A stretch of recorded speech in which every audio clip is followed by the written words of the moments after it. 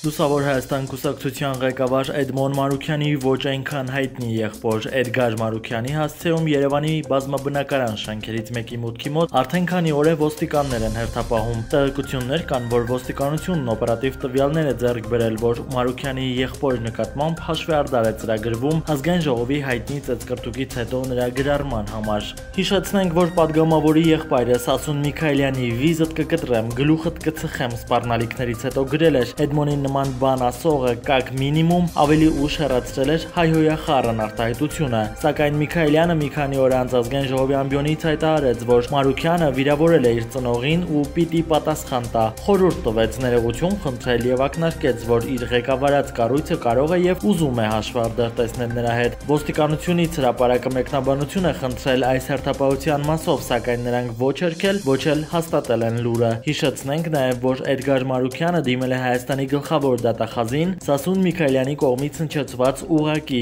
եւ անուղակի սպառնալիքների կապակցությամբ հաղորդում ներկայացնելով